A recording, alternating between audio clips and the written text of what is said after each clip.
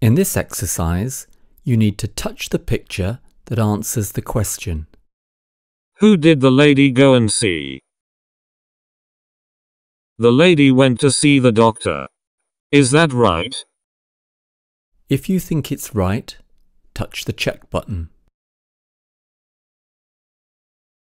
If you think it's wrong, just touch another picture.